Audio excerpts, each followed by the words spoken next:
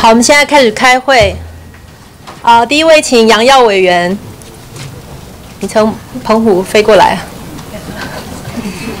对，坐飞机要戴口罩。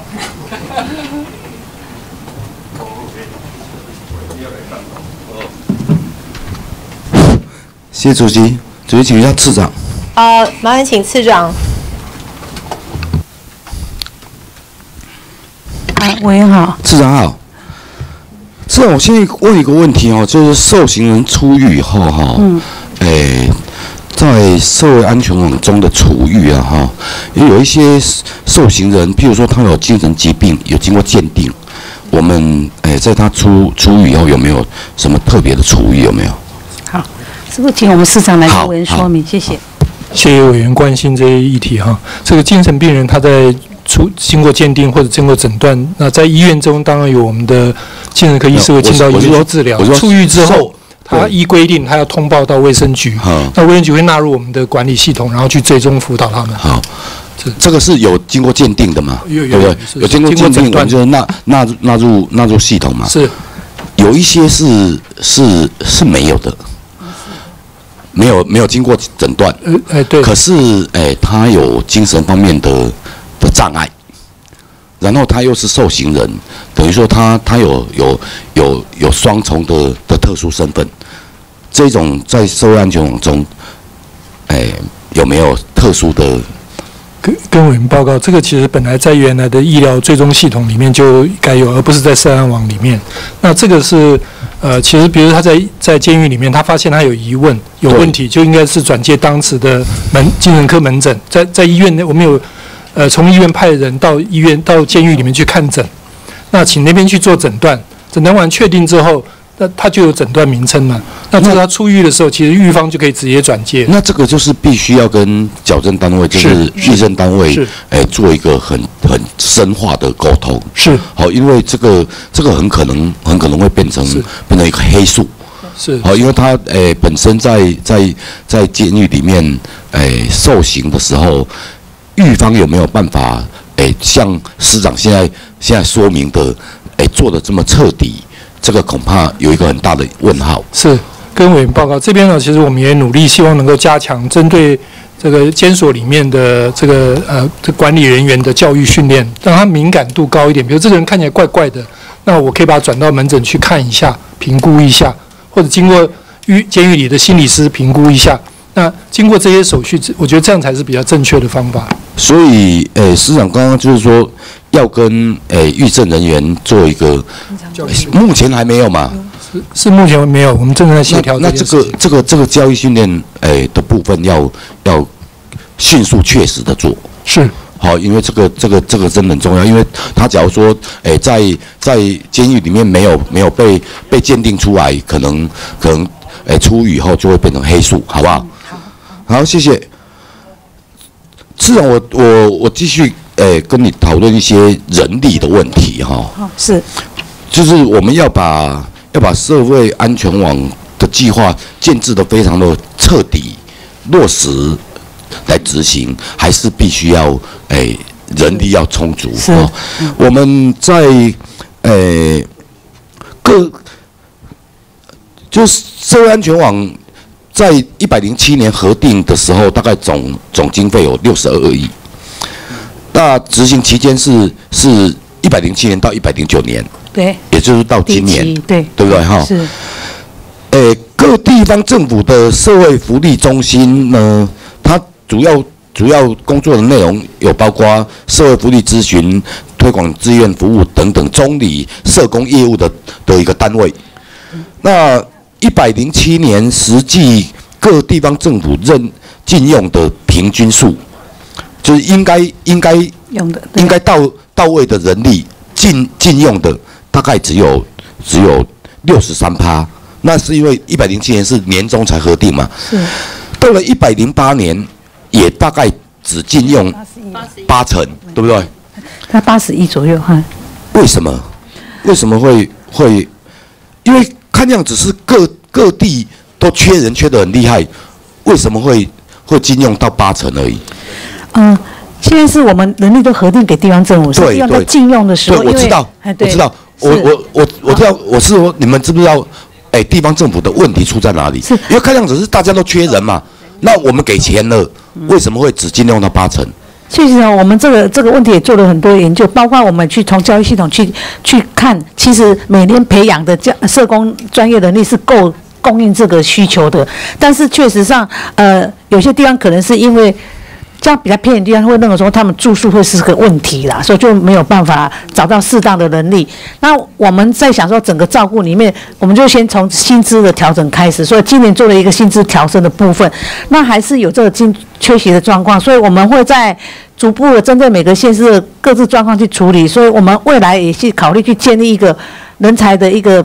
呃，平台建立一个平台，也许有些地方在某个方案离职，他可以到别的县市去做适当的工作。那其实我们做很多努力，还去各社工科系去做宣传，然后跟他说有这个职缺可以来用。那确实是有地方还有困难没有用足啦。对，因为刚刚市长有讲到一个，就是偏远地区可能连连住的地方都是问题啦，哈，大家比较不愿意。可是我看，诶，禁用禁用率最低的确实是马祖三十三趴，次低的就是。台北市六十二趴，问题在哪里？嗯，是工作机会。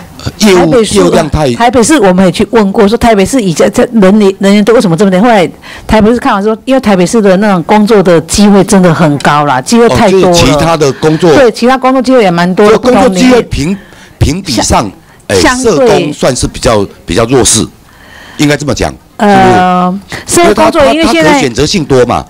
对，因为现在社会工作确实，我们不管在社会或者其他什么家暴防治工作，我们付给他的责任跟压力，真的确实是比一般其他的行政人员会多一点这个我知道。对对，所以刚刚刚刚市长讲讲到加薪呐，哈，薪水当然是是一个很重要的因素，可是它不是不是全部的因素。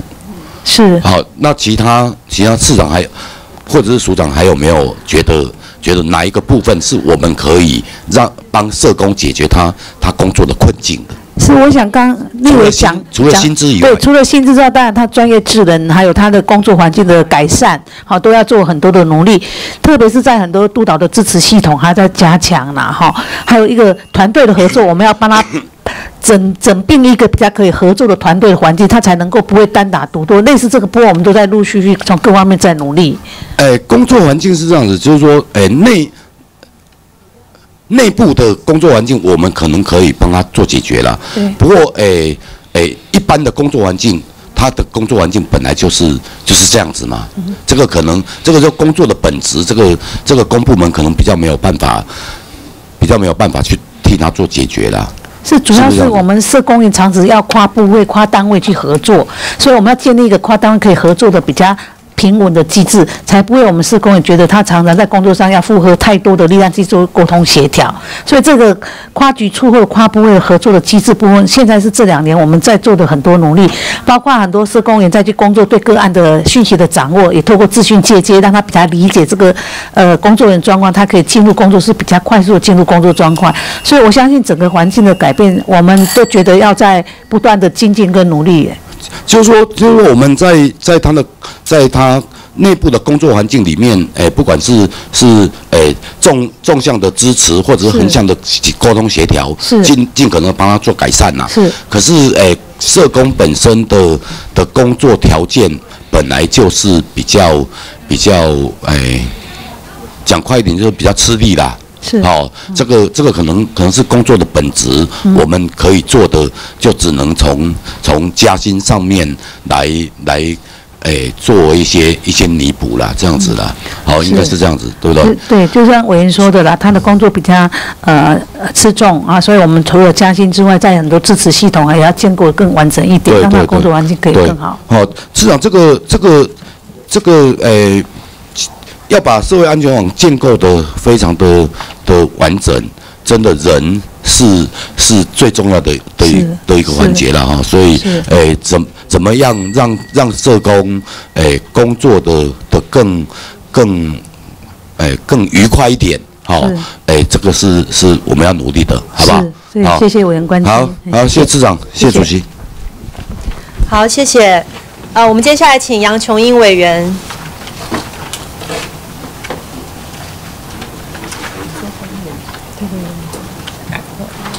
没有，我要名称。对不起。主席，啊，本席想邀请次长。好，麻烦请次长。啊，委员好，长你好，有两个议题，本席来跟你讨论啊。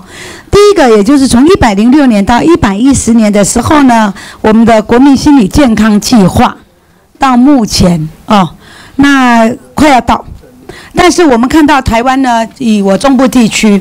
全国了哦，一九九九年的时候九二一，我没想到时间那么快，二十一年了。二零零三年的这个 SARS，二零零九年的莫拉克台风这个水灾，那二零一四年更恐怖的随机杀人事件北捷的这个事件，到新店随机杀人的事件，让大家的压力很大，尤其经过苦难过的，有的人根本走不出来，所以当时呃。卫务部提出这个政策，我非常的的这个感动，所以我也一直在注意这一块。所以本需要请教哦。那么在这些情况之后，又看到我们现在面临到什么问题？防疫。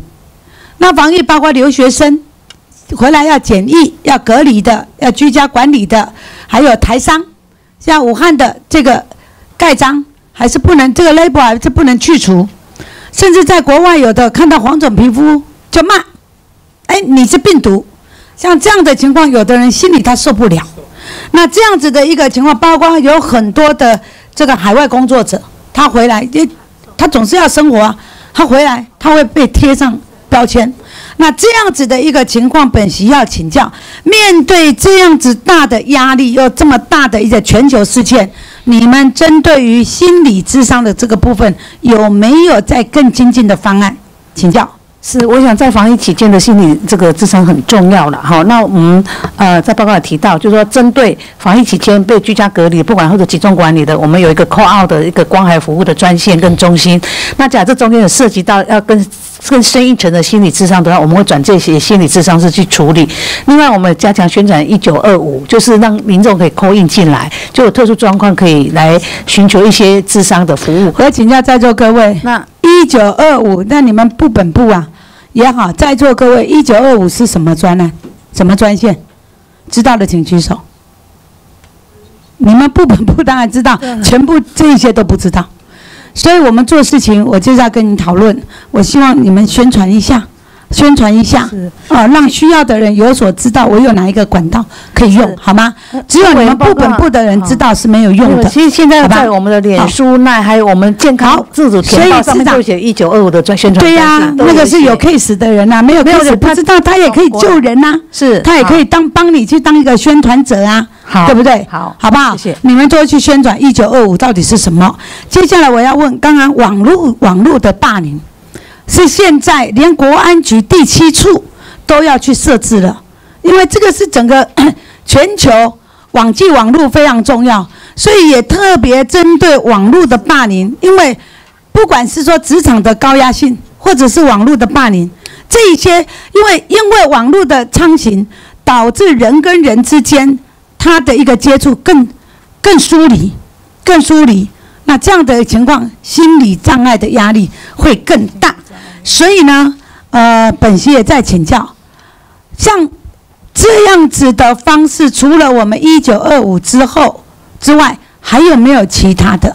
我认为更需要再精进。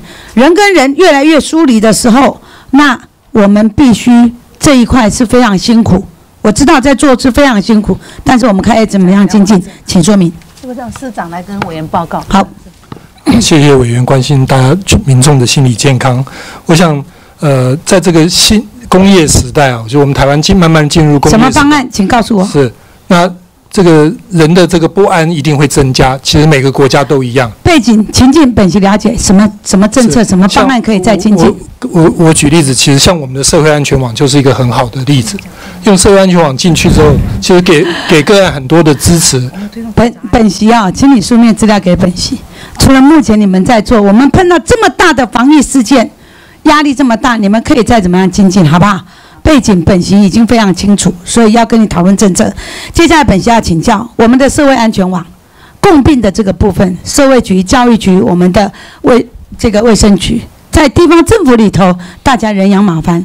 社会工作人员有社工人员，社工人员以台中市来计算，我们呢原本呃你们核定给我们的是十九个，但是共病之后，我们讨论出来，到目前快将近一年的时间，我们有将近八百九十九人共病，共病。那共病之下呢，你们也给我们社会安全网啊的社工人员呢，你们核定的人数是达到三十五人，三十五人至到目前为止，我要一个数字。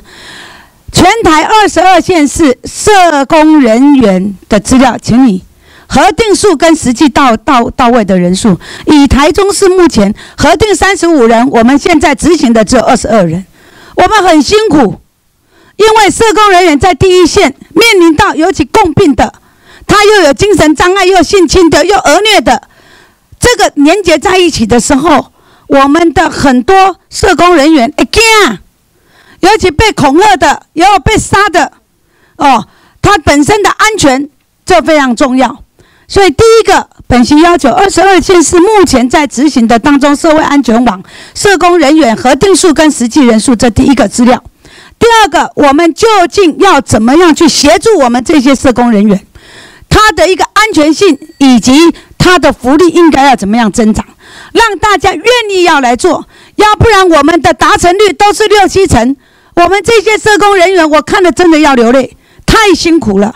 所以我还要第三个提问，因为我们依照各县市的财政比例，财政比例是由财政部所规定，有五个等级，对不对？你们在补助，我们台中市由原先的二级等级的财政降为第三级等级，降为三级等级呀。那我们现在社工人员，我现在才二十二个，我不搞啊，那要怎么办？要怎么办？所以市长点出这个议题，坦白讲，我我们实在是心疼，因为这个数字如果说八百九十九啊，我相我愿意相信，还没有出现的，已经有的，还隐性的，我想比这个一倍以上，在全国里头，所以联合国也做了一个统计。联合国说，心理有障碍的占全球人口的七成。吼吼，我听到这个实在是很紧张，所以要怎么样来协助？请教台中市政府不足的预算，请你补足好不好？拜托。哦，是不是跟委员报告一下？有关禁用一部分，现在平均是八成一，每个县市不一样。这个数字我们会提供给委员办公室。对。那第二个有关施工安全议题的部分，其实我们从教材的设定跟配备的装潢、教育训练，还有一必要时可以协呃协助请请这个警察们协同，这部分机制是有建立。那落实部分我们再加强。那第三个人讲说，财政的划分里面，刚同仁跟我们讲说，二级降为三级，其实是负担变少，对，是负担变加，是。地方政府负担变少，可是你现在给我评比的还是二级呀？你还没听懂我的意思？你现在评比我是三级呀？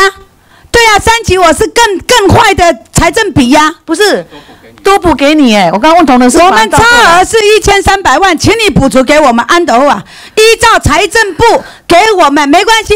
没关系，我们就补足我们的钱，不是好不好？一千三百万，我们再去跟地方政府了解，是这中间是不是有误拜托嘛，因为我们刚刚同说他减轻了负担，拜托增加请你将我们不足的一千三百多万补足给我们，依法来办就好了。因为你们每一年叫人家所定的是在年终的时候就要提拨嘛，你们才可以预计嘛。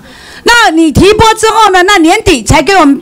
才给我们做财政部，所以我就拜托一个结论。等一下赶快。拜托一个结论，我们台中市政府差别的这个部分一千三百多万，请你补足给我们，我们好好去做。因为我的人数已经差了十几个人，十七个人不够，拜托。针对社工人员的福利以及安全性，我也拜托我们市长啊，我也拜托我们市长，好好的来规划专案，好不好？拜托，对我们谢谢杨委员，刚刚也优待他超过五分钟，谢谢，特别优待，因为他真的很认真，要帮地方争取预算。那等一下你们现在立刻，好，赶快跟好，拜托哈，谢谢，好，好，谢谢哈。那我们接下来请高嘉瑜委员质询。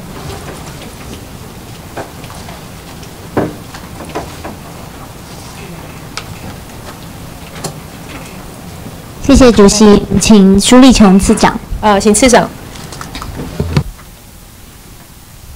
啊，委员市长好。辛苦又见面了哦。那关于所谓儿虐事件呢，我们发现其实通报案件是逐年的上升哦。从二零零三年的这个儿少法公布之后，到二零零四年到二零一零年哦，从八千四百多件哦，暴涨到二零一七年将近六万件。那儿虐事件跟儿少事件呢，大家都非常的关心。可是我们发现，归根究底呢，这个。社会安全网有没有发挥到它应有的效果？邻居跟社会人士其实周遭呢通报的案件数非常非常的少，在这么多的案件里面，将近六万七万件的案件，通报的人数竟然只有一千七百多件，不到百分之三哦。那在这种情况之下，到底如何来杜绝哦？那我们也发现说，这些的问题呢，社会安全网是不是以目前的整合状况来讲，还没有办法去杜绝这些儿虐悲歌，因为一而再、再而三的发生，把这些责任交给地方政府来做，显然没有办法把这些资源做很好的整合。所以，我们一再的呼吁，就是要求要成立一个专责的单位，跨部会的把这些资源能够整合，甚至能够成立这个院级的儿少保护的办公室哦，整合社政、医疗、警政、教育哦、司法哈、等等的相关的系统，才有办法把这些额少的福利跟保障哦，能够做到位哦，能够做到好。这个部分，次长到底目前我们的这个呃规划如何？有没有办法真的把它提升到我们院级的层次，然后整合各单位的资源来做一个完整的保护？是非常感谢委员关注这个议题。那目前虽然我们没有儿少保护办公室，但是我们有一个家庭暴力防治委员会，它这家家庭防治委里面就有儿少组还有妇女组，那它就是一个跨部会对，但是因为单位显然那个层级不够高，那是。所以导致说，在我们刚刚的数据里面发现的，每年六七万件，我们不断的看到这些被虐的这些儿少的这些事件层出不穷的时候，但是相关的资源完全都没有进来，那所谓的社会安全网完全没有发挥它的效果，那就算周遭的这些呃。不管是亲友或是邻居等等，他所通报的件数也是寥寥可数，可见的还有很多需要改善的地方。如果说真的能够把这个安全网建制的完完善，然后提升到院级的层次的话，我相信能够有助于现在这些资源没有办法完全整合的问题，才能真的帮助到这些小孩，因为一年。六七万件哦，这个数字真的非常的高。我们希望说不要再看到这样子的事件哦。那接下来我们也发现哦，这个托婴中心虐婴事件其实也造成了家长一个很大的伤害。那当然，我们现在也有要求要提供公开透明的资讯，可是这些小婴儿其实他们不会讲话。如果我们没有事后的发现，根本也很难去知道在这过程中他们受到了什么的伤害哦。可是我们发现呢，相关的资讯并没有公开透明。以这个全国教保资讯网的幼儿园的资料上，我们可以很清楚的查询到说。这些幼儿园它是不是有通过评鉴，然后核定的人数、收费等等资讯是一目的了然哦。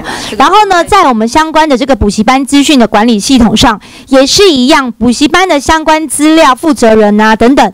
人数等等也都非常的清楚哦。可是呢，在我们相关的托婴中心的报告，你看一下哈、下一页，我们托婴中心相关的资料上呢，只能看到托婴中心的机构名称、地址，然后是否有准公共化。可是关于这些托婴中心家长最关心的评鉴的报告，过去是否有过这些儿虐相关的事件等等的记录，完全都看不到。那对于家长来讲，他想要挑选托婴中心的时候，他其实要自己去找资料。那对家长也非常的不公平，因为托婴事件传出虐儿事件频传的时候，更有需要有一个完善的资讯哦，来让这个家长知道。下一页，所以次长，当你看到这些资料的时候，你怎么去判断哪一家托婴中心曾经有过违规的记录？你看得出来说哪一家是有违规的记录的吗？看得出来吗，市长？对，确实我们违规的那个公告是另一个栏是怎么合并处理，我们应该来下一页哦您违规的记录没有跟名册整合，所以我们要另外去查，另外去搜寻，才有机会去掌握。然后呢，就引起争议了。为什么不跟名册整合？是不是为了保护业者？所以让业者觉得说，即使托婴中心今天违规、讹虐等等的事由，反正一般的家长可能不会去查，也查不到。所以在这种情况之下，我们要求。这个应该要把我们这些相关托婴中心的资料，跟过去违规的记录、跟评鉴的这些报告来做一个整合，完善整个资料，让它公开透明。这个可不可以做得到？我想这个很多那违规资料都在地方，我们来跟他讨论怎么连接，请把它做一个整合，才能够完善。下一页哦，这个下一个，所以婚姻中心常见的问题就是因为违规就改名啊，改名之后你就搜寻不到他违规的记录啦，所以就可以这样子一而再再而三的时候用改名来不断的这个逃避这个规范哦。那所以呢，刚刚我所要给部长、次长您看的，就是说，在刚刚的托婴中心里面，你完全看不到哪一家是改名的。但是事实上呢，这一家这个托婴中心呢，叫妙儿园托婴中心呢，它改名叫德宝托婴中心。曾经传出八位保姆里面有五位虐婴哦，情节到永远不能担任保姆。但是在我们相关的资料上完全看不出来，所以用这种改名的方式，然后再加上我们资讯不公开透明也不够完整的情况之下，就产生了这样子的漏洞。所以是不是市长这个部分能够赶快去改善？大概多久可以改善？呃，基本上目前我们对个人负责人是有公告，但是名称的部分确实这个是还有个漏洞在这边。那怎么来进一步处理？我们同你们多久？因为月音事件频传哦，如果让。这个托婴中心可以用这种方式来规避他的责任哦，对于这些家长们非常不公平。所以相关的改名记录、相关的评鉴报告，还有过去违规的记录，都希望能够整合在一起，提供给家长来做检视，也能够避免这些恶质的托婴中心一犯再犯。这个才是一个根追根究底、这个呃根本溯源的一个方式。所以次长，您可以承诺多久时间内可以做改善？呃，跟委员报告哈，因为这个部分，我们对于负责人或是呃相关的工作人员，如果他有呃违规的事实，经过裁罚确定的话，是会公呃如果有话，但并没有整合在一起。我们希望所有的资讯能够整合在一起，因为那个大部分是在那个是属于地方啦哈，那我们会来跟地方讨论看看有什么方法可以把。财阀的资料跟那个机构的看可不可以来做一个整合，比较方便民众来做一个查阅。因为我们今天讨论社会安全网。讨论的原因就在于过去都是长期都是由地方在处理，所以导致中央在这个地方把责任推给地方。那中央跟地方应该要一起来做整合，在这个资源上，在各方面的要求上，不是只是地方的责任。所以我们也拜托，就是中央就这个部分有必要去提高到院级的层级，才有办法去整合关于儿少的保护，还有这些托婴中心的问题，希望能够由中央来带头去做，然后要求。谢谢。谢谢主席。好，谢谢高委，谢谢苏次哈，还有署长。接下来请陈怡委员来做咨询。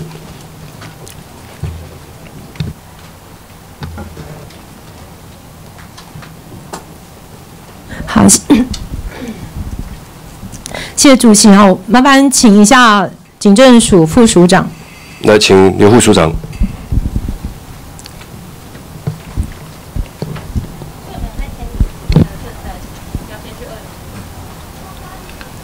委员好，呃，副署长好，你第一次来卫环委员会吗？呃，今年第一次。啊，就不常来了哈。我先郑重自我介绍一下，我是原住民的立法委员陈莹。我和其他啊你们原住民警员一样，是你们高阶警官口中的耍德亚。好，那我这个耍德亚呢，有几个问题要请教副署长哈。第一个问题哦，呃，副组长，我请教一下，你们的署长是不是快要被换掉了？呃，没有听过。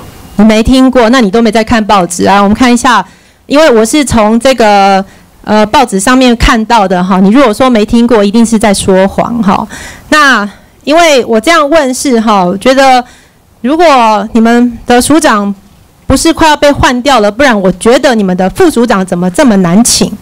好，因为招委，呃，招委办公室请你们出席，那你们今天就也是请不动，还要我们打电话给部长，好，指定派这个副署长来，你们才愿意来。好，因为有这样子，我才质疑说，是不是因为署长要被换掉了？好，所以很难叫。好，那第二个问题，副署长，你有没有机会升署长？我我对前面的问题做说明啊，因为第一个，这个今天来的这个主题不是我业管的，那因为听到对立听到法院呃不听到这个立法院讲了，我马上就来，因为我们另外两位好。那个副署好，长你今天是来当替死鬼的啦，哈，因为这个不是你的，因为本来应该来的是另外一位副署长。大家我们好，我知道了，我知道，我没有怪你的意思哈，但是你可以把我今天的质询回去好好的跟你们所有警政署还有你们警界的同仁跟他们分享，因为我今天的咨询很重要。好，那我问完你这两个问题哈，是这样子哦，嗯，我觉得这个起因是在于哦，上个礼拜四行政院院会宣布通过了这个院版的枪炮弹药刀械管制条例。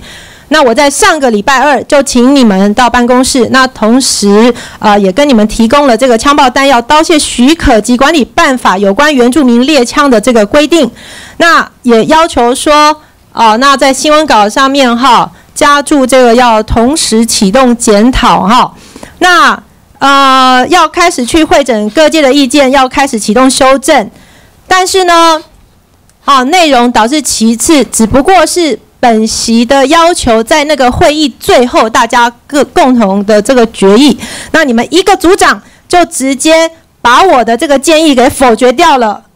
那我给你们的建议，署长没有看到，连内政部的呃好长官也都不知道，所以你们否决掉，也完全没有跟我说，才会有今天要特别请你们到委员会来。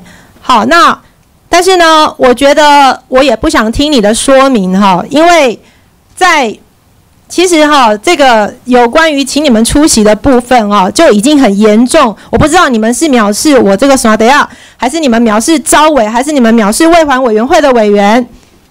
好，你们都不会承认。我知道，因为警政署的长官一向就是如此。不会委委员不会了。啊，我我不想听你们的保证啊，我就继续讲下去，因为现在开始推卸责任了。回去查，我如果问说，那到底是谁把我的这个建议否决掉的？好，啊，你们啊，为什么为什么这个副署长，哎，怎么不知道要来出席？到最后谁要扛？国会联络人要扛嘛？但是我跟你讲，今天你们国会联络人王志忠，我没有讲错他名字吧？我知道他，他非常一向非常的认真，然后我们交代的事情他都完全理解，不像你们那个什么保安组组长，我听阿维都听阿伯啊。好，那但是这个是你们在你们警政署里面，你们警界一个文化，高阶警官啊，如果中间出了什么事情，就找一个替死鬼。那我讲这个跟今天主题有没有什么关系？其实是有的。好，等一下我麻烦你就继续听下去哦，因为你们这样子转嫁。本来那个人应该承受的责任跟压力嘛，好，所以那那那这些下面的警员就很可怜啦。好，那那这些压力都在他们身上，会造成什么样的结果？好，我我如果真的举一个案例，等下我怕那个媒体记者全部都要跑过来，我还是给你们保留一点。好，所以我在这边，我我觉得是互相尊重啦，这是一个恶职文化。好，所以今天。这个国会联络人就放到我的列管保护名单。如果他一个这么尽责、如实转告的国会联络人，在这一次今天这个会议结束之后，后面如果有受到任何不当的责备或责罚，我跟你讲，我跟你们没完没了。我说到做到，我可以每天盯着你们，你绝对要相信我。好，那嗯。接下来哈，嗯，我觉得你们就在旁边旁听。好，我我先要请一下那个呃次长还有新口司司长。来，谢次还有盛司长。啊，是委员好，嗨，次长好，司长好哈。那因为刚刚呃杨琼英委员也谈了很多，所以我就不要重复太多，只是说我要特别提醒哦，在这一次的这个中国武汉肺炎呢，哈，现在这个昨天确诊人数已经达到两百三十五人，那送验有两万六千多例哈、那在这个所有的居家隔离、居家检疫、自主健康管理，总共十万多人。好，那我目前中央这个地方合作的这个关怀模式哦，其实不管是哪一种类型哈，我们其实都是。呃，比较加强他的这个身体健康的部分，但是在这个心理压力的这个关怀方面，哈，甚至怎么样来舒压，我觉得这个部分是需要加强哈，因为不只是当事人，也不只是医护人员，好，我们还有在第一线执勤的啊，比如说这个九测的这个警戒的基层员警，他们可能就也是会面临到这个会被传染的危险，他们也会担心，也会害怕，所以甚至哈。呃，这个当事人家人，哈，那包括其实我们在开会，在做开会的每一位，包括我自己，我都觉得我可以看到病毒了，好，这些都是压力。我是说真的，师长你不要笑，好好，真的。那呃，所以我想请你们特别加强这个部分，就做这个提醒，好不好？谢谢。好，那嗯，因为今天呃。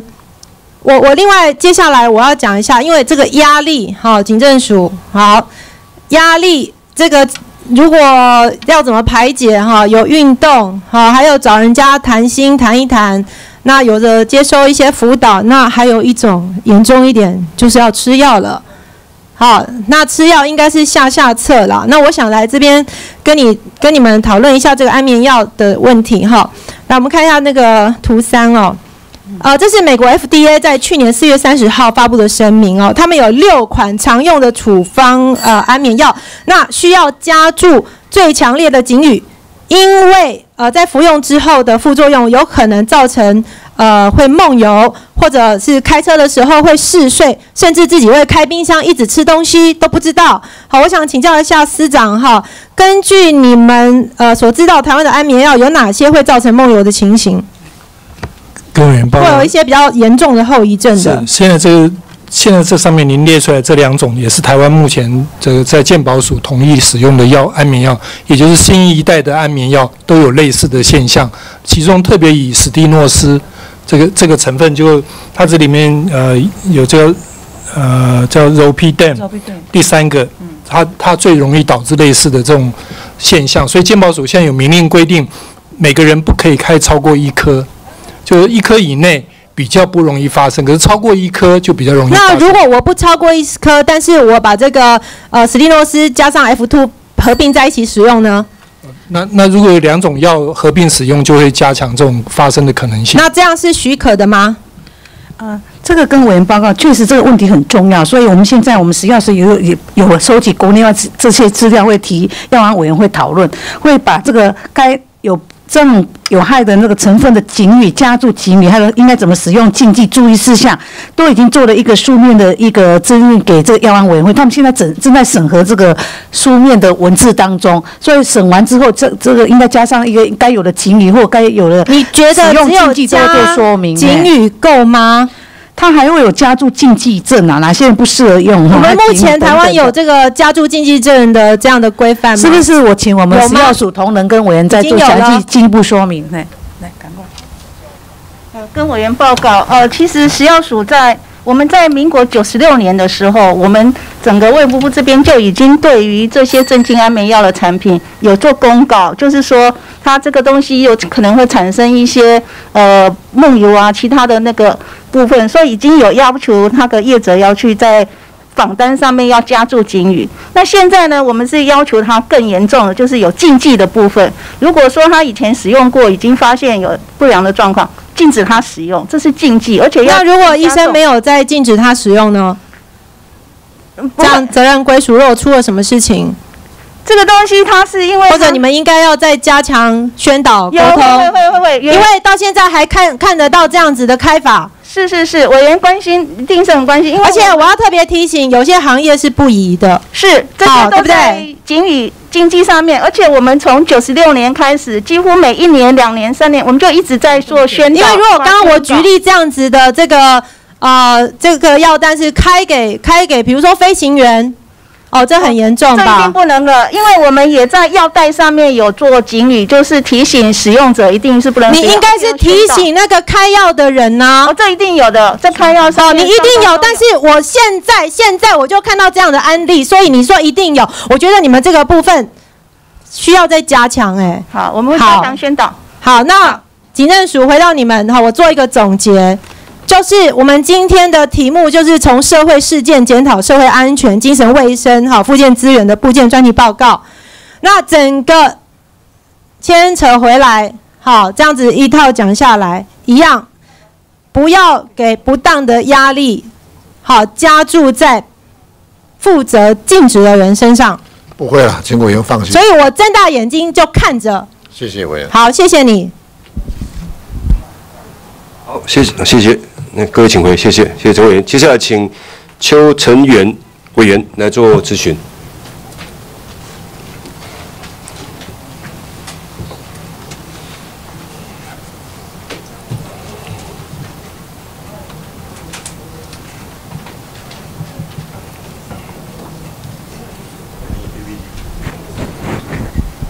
好，主席午安哈。那我们请这个卫福部的那个苏次长来，苏次长，谢谢。啊，委员好。好，次长午安好，辛苦了哈。那我们今天哈来讨论一下这个居家检疫的部分了，好不好好？就是我们知道说，从上个礼拜开始哈，大量的国外呃境外一路的这个相关的这些。呃，国外回来的，不管是留学生还是台商啊，那现在目前我们是倒数关键二十八天了。这二十八天的疫情哈，我们如果防疫上可以撑得住的话，原则上应该后后面会比较顺利哈。但是这中间碰到很多问题了哈，我想那个次长这边也知道哈。那我们下个 PPT。哦，那我们在三月二十一号的时候已经宣布全球列为第三级的旅游警示哈，全部回台人，呃，现在回台的这个海外归国的都需要居家检疫。那居家检疫的人数现在已经大幅增加哈。那我们的这个指挥官在记者会也预估哈，最高居家检疫人数恐怕同时会达到将近六万人次。那目前的数字是在前天哈，目前居家检疫累计已经八万人了。那有一些已经已已经都呃那个呃。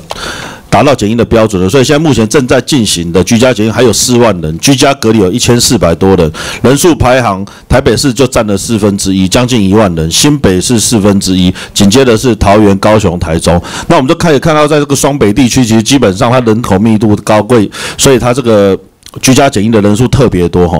那这个这中间就碰到一些乱象了。哦，像这个前几天这个陈策这个失踪失联了哦，我们这个台北市的这个黄山副市长觉得很纳闷，在当时回国的时候怎么会通过？那机场不是要现场测试手机吗？那这个部分是不是应该要定位清楚才能让他放行？哦，那甚至有填假资料的啊，地址虽然有人住，但是找不到了。那室内的警侦系统协寻有没有办法找到？哦，那这个其实基本上它不是个案双北的数量现在目前最多哈，台北市有七十二件，新北市有五十五件，那台湾每个县市平均有三十件违反居家检疫规定的案例。所以针对这个部分呢，这个卫福部指挥中心怎么有没有跟内政部啦，或者是移民署这边来去做一个相关性的协调？因为这个其实会呃碰到蛮多这样子的呃居家检疫的这个 loss 掉的问题哦，其实对民众跟防疫的破口也是一个很大的影响。那我们下一页。那我们现在就回归讲到哈，因为现在的量能基本上都是在双北哈，那所以现在目前这个防疫旅馆的需求哦就非常的大哦。那当然还有现在最时下最夯的这个电子，应该叫智慧手环了哈。那这个部分其实在二月十五号，我们台北市长柯文哲市长就有。有提出这个电子手环，然后当时他讲电子手铐了，不会被轰得蛮惨，但是后来改用科技电子手环哦，那时候就接受了哦。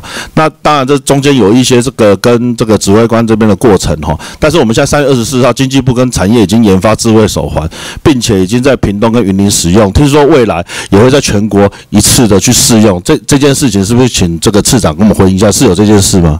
嗯、我我跟你先说，你看说有关这个居家落实，不问内政部怎么去合作，不过现在大家也知道，我们指挥中心的副指挥官就是我们内政部的政务而且你先回答我智慧手环这个问题好了。智慧手环这呃这个很抱歉，确实我没有参加这一次的相关的会议，我没有掌握这个讯息，是不是可以了解再补充给委，员？那我们好，那这个部分是不是在呃呃明明天明天回复我可以呃回复，了解，我我请？同仁现在就马上了解，看看回复。那我们要讲的是说，防疫不要政治化，该怎么做怎么做哈。有的时候还是要超前部署，因为我想整个疫情也是超乎当时的一个评估啊。我们来下一页。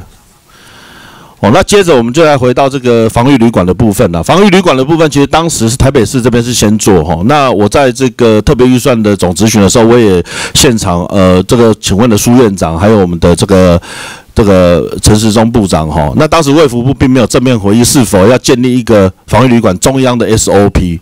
那现在都是地方自己去做。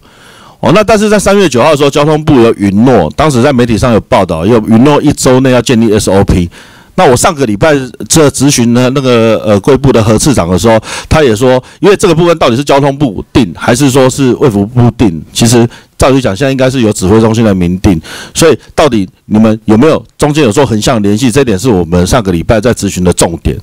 那当时何次长是答应我说，卫福部哈在。一周内会建立中央 SOP，让各地去遵循。因为各地方政府他们要建立这个防疫旅馆，还是要一个统一的标准，不然每个地方的标准不一样的话，可能会造成防疫的破口。尤其现在国外一路的量能那么大，其实我们不见得第一线的这些来能够吃得下。那我现在刚好一周了，那我们卫福部这边相关 SOP 是不是建立的？是不是请这个次长跟我回应一下？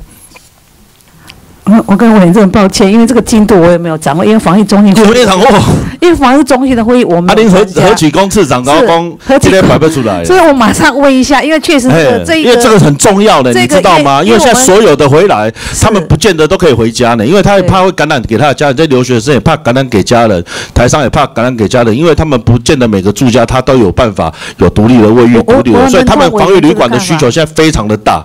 那台北市已经超前部署了，但是现在人口都集中在双北，所以这个防疫这个旅馆的中央统一的 SOP，我们希望一定要赶快，因为上个礼拜跟我答应说这个礼拜会定出来，但是目前我目前还没有收到任何的消息跟报告。时间点，我再确认一下是不是已经具具那明天明天是不是能给本席一个回复？好，我现在尽可能现在就马上问。啊，但是这个真的要赶快定出来哦，这个这不是开玩笑的。好，另外最后我做一个建议的哈，在我们能力不足的时候，防疫的程度没有办法维持，要节省成本跟能力的话，其实科技化的方法要多加去善用了哈。像包括现在的智慧手环，还有其实我们健保现在有快易通，是否能够跟机关署的结合资料，让 A P P 显示哈，就是说如果它可以出示这个 A P P 显示它是。在入境的时候，就先统计他到底是需要居家检疫，还是不需要，还是还是他现在是是不是这个标准的哈？那让他们在一些公共场合入场的时候，可以去显示这个部分是不是在技术上可以支援到？譬如说像现在网咖啦、KTV 啊，都需要这个出示身份证，其实现在都可能会变成防疫的破口。所以在这个智慧防疫跟这个居家检疫的呃呃，在社区型的这个检验来讲的话，是不是可以跟这个？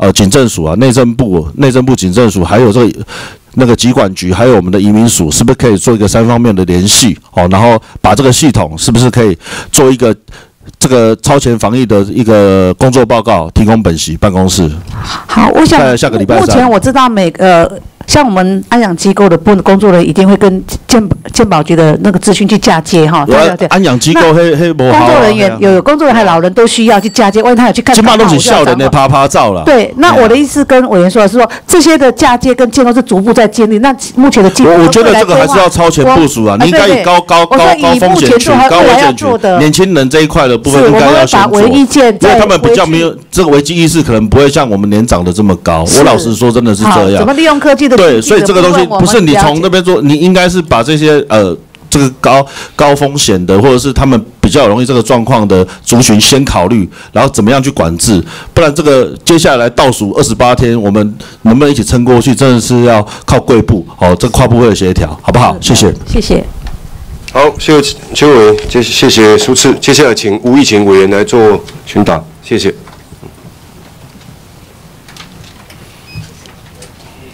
啊，主席，我请让苏次休息一下，简简署长。对，有请简署长。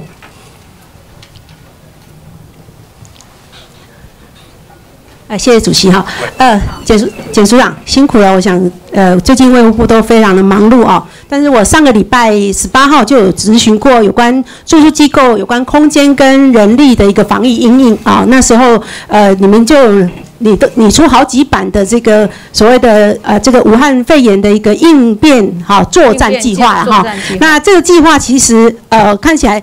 我三月十八号执行完之后，三月二十二号，呃，这个机构就出现这个有有护理人员啊确诊啊。那还好，看起来这次的事件里面，呃，当时我记得你当时讲是说，这个作战计划是由机构自己要安排好人力来做这个应变的措施哈，包括还有好几类人要进来哈。可是这一次好像桃园的这个案子是由呃我们中央进入来协助。哈，包括呃裁剪，哈到两大医院去裁剪，然后呃这个机呃住民也直直接安置到新的，好还没有开办的哎简易的场所是由新的机构啊还没有营运的机构来接承接啊，这个就是我要问的是说，那每一个县市有这样的条件吗？呃，跟委员报告哈，因为当时是第一例啦，哈，那我们希望说能够。就快速的快速的处理，但是接下来就不知道会不会有在第二例、第三例呢？我们会努力了，哈，各县市已经在盘点相关的空床位。这我们要这个就是我要很关注的，就是说人力在哪里？那你的安安置所谓的隔离的简易的呃空间在哪里？不是你说地方政府呃一句话就解决了。我上次的感觉是说，你好像告诉我地方在做了。而且要逐家的去做处理，所以要落实哈，好不好？因为我觉得这部分不是开玩笑的，因为这桃园这一案这一案是算幸运哦，我们立刻可以处理。可是接下来就不不不是这样的情况另外也跟委员报告，就是现在我们也就刚刚次长有提的啦，我们也希望呃那个所有的。呃，机构的工作人员跟住民哈，如果说他有症状去医院看病，现在我知道你们有个计划在做这个健保卡的连嫁接哈，这个我知道，这就也把做做最最最前往前推呃防防疫的工作哈，这个我能理解。但是我比较关注的很多团呃机构在担心呢，就是像这样的一个外部的人力来支援，那这些钱有没有？是由政府来补助，跟有没有给加急？因为我知道医护人员都有呃这个加急嘛哈，这些人有没有？有那个照服务员的部分是有加急，有加急哈啊，这这个这些钱是要机构负担，还是由呃这个防疫的机？这个应该是你上次在回答说还在研议中，哎，延期还在研议中吗？哎呀，快，这个速度可能要再加快了。这几天大概会再再做好。这我我知道大家都非常关心这些呃这些津贴啦，或是防疫上面大家的这个呃努力的参与的这些呃伙伴们，大家应该给予。一些被他被看到也也能够给予奖励的哈。好，那因为看起来这一次就是担心人力的不足啦哈，还有这个呃补助的如果没有一个诱因，我也觉得担心很多人人会不会投入这个呃领域，我也有点担心呐哈。所以我们想这个部分还是请你们还是呃严厉一下好不好？好，那我有几个机构要确认呃住宿机构要。确认的事情啊，就说因为机构的奖助呃奖励奖补助的案子啊，因为疫情在这次评鉴卡呃就是停办之后，是不是明年可以比照上一次的这个啊继续沿用这个原来的评评鉴的等级来给予补助呢？用一。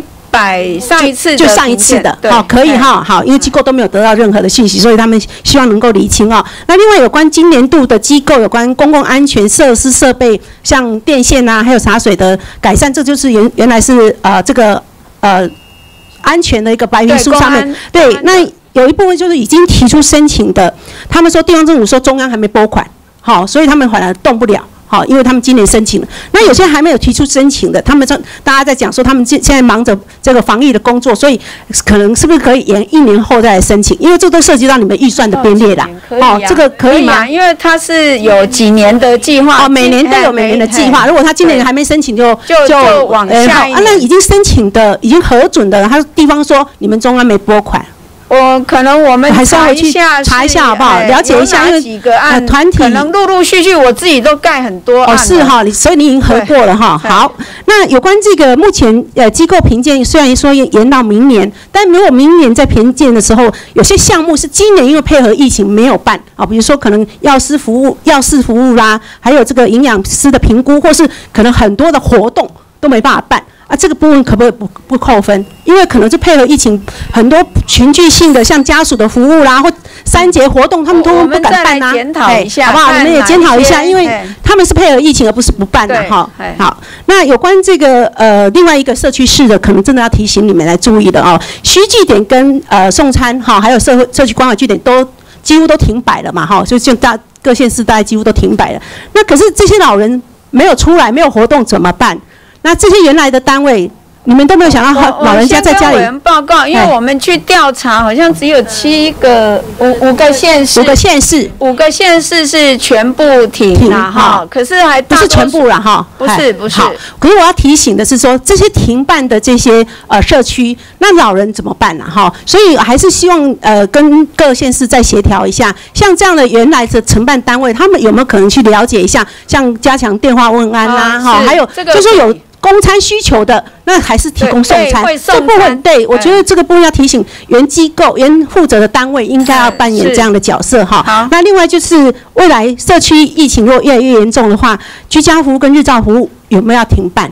啊，停办了要怎么办这办？个好，因为这在这冲击很大哦。呃，对，这个冲击比较大一点哈。那不过这个我们我知道长照师这边正在讨论当是中。好哎，我提醒一下，因为这段时间我知道大家都忙防疫，那是不是也请呃各个单位自己也要去了解，如果日照单位或是日呃居家服务单位，那他们的这些如果呃真的停摆了哈，停摆了，那所有的住民或是这些呃家呃老人或是身心障碍朋友，他有没有人可以顾？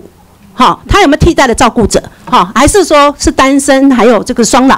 那这个部分可能后续的服务就要出来了哦。我们哎有在有在盘点吗方盘说有去了解，尤其是身心障碍者是哈。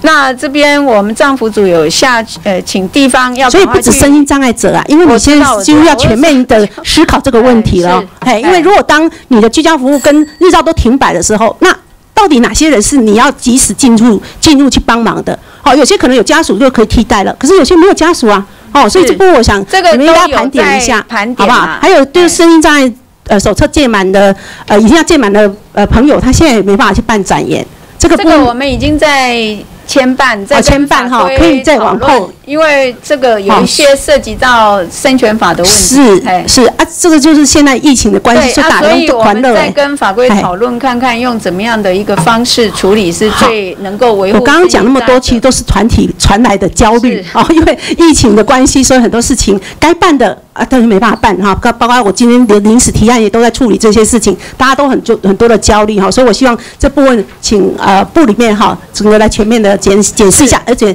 呃有超前部署就是先把这些事情先调查清楚，好不好？好，谢谢。谢谢委员。好，谢谢委员，谢谢署长。接下来请叶依然委员来做咨询。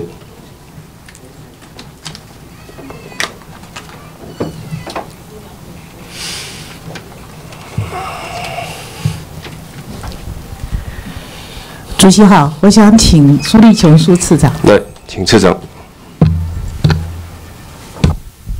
啊，委员好，市长好。这段时间我们卫福部的同仁非常辛苦哈，不过不是这段时间呢，是过去这几年了，因为台湾的社会的确是有很多的问题啊。那今天你们的报告里面也提到了哈，那呃，对不起，不好意思，往上一页，好，下一页，OK，好，呃。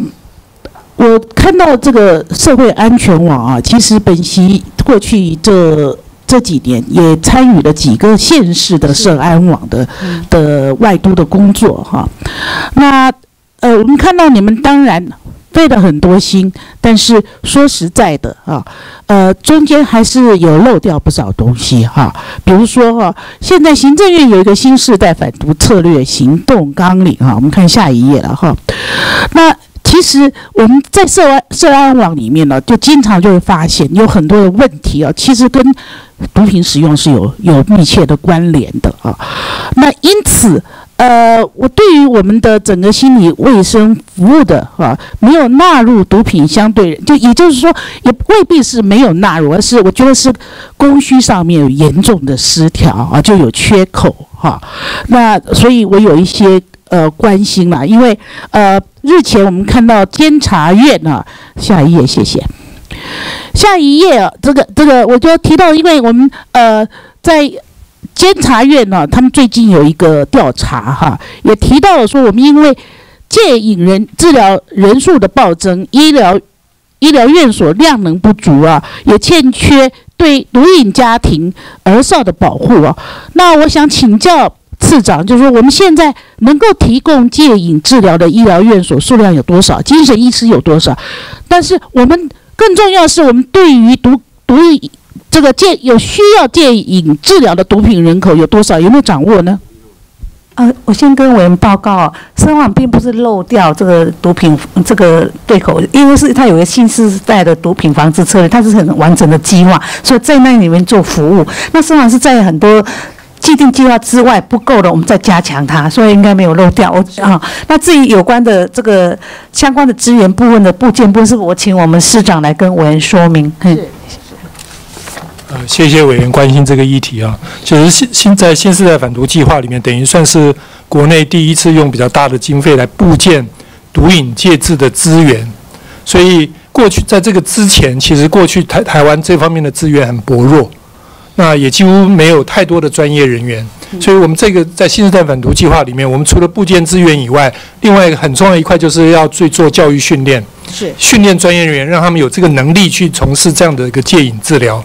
那目前其实全台湾，呃，我们登我这边的手头上这边如果有参与这个毒瘾戒治工作，大概有一百六十七家医院，但是这里面说说的真的技术够好的，可能大概十家左右。是哦，那我们目前是希望我们透过一个目前一个补助案，就是成成立这个呃转介中心，等于是从北到南，从大概。六到八个这个医疗转服务的转接中心。我很抱歉，因为我时间非常有限，所以我就只好打打断您哈。然后，其实我觉得另外一个问题，当然就是在于你们报告里面也提到了，就是我们整个社工的人力的流动各方面了哈。那我们看到，其实社安网跟新时代反毒策。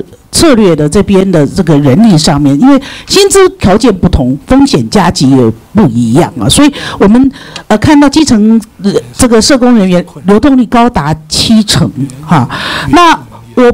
不知道这个我们卫福部对这个有没有掌握哈？因为我们看到了，其实其他的国家在实施这样这么重要的治安网，他们人力是正规编制，它的处理机制也是系统化跟标准化的。我们这这种约聘的人力啊，其实是很不稳定的。不晓得您同不同意这样的见解？啊，基本上我真的很感谢委员关注这个问题，确实是呃，才能够用稳定的这个能力哈，会比较好一点。那因为现在受限用人的额度的部分，确实会比较用一年一聘的方式，但是因为这个是长期计划。固然是一年一聘，其实它也是相当于是长久在聘用的部分。是，但是我还是希望说，我们在这部分呢，也能够有改进啊，不要变成只是一个约聘，让没有没有安定感。我们下一页哈。那当然，我们看到的就是，呃，就是在两个星期前发生的这新店随机杀人犯呢，他自己认为他自己是有经，他对外这么宣称，我不晓得有没有了解他是不是列管的。谢谢委员关心。其实我呃，他不是第一个，他不是。那个我们列管的精神障碍者是第二个，其实他也不是精神病，对，但是他可能有一些压力、焦虑这些事，可能曾经因为这样去就医过，但是并没有一个我们并没有列管嘛，但是他他其实他是在污名化我们的经商者各方面对，所以啊，其实我自己呃，对我们在治安网里面就常常碰到这样的问题，其实，在强制住。住院治疗这部分，或强制真的有病的他不肯服药的这些，我觉得我们都呃觉得很很无力哈。所以呃，我其实最后了哈，不好意思，主席，我在在浪费各位再增加一点时间呢。最后，其实我想要帮我们精神医师们讲一些话了哈，因为我们整个健保给付的这个规定啊，跟经理的方式啊，对于我们精神卫生来提供这个。就是我们要把给他个别化或差异化的治疗，哈，是是一种障碍了，哈。所以我们的精神卫生的资源配置不均，哈，然后花东哦，那个呃，我们的这个呃后山哦，更加的缺乏了啊，然后也没有其他的社区服务的类型，所以我呃，因为我的时间已经到了，所以我要请卫福部针对呃我们在执行社会安全网计划的社工以及精神卫生资源的配置跟分布的改善计划，麻烦你们一个月之后提给提给本席，谢谢，谢谢。好，谢谢叶委员，谢谢市长吼，市长。接下来请洪生汉委员来做质询。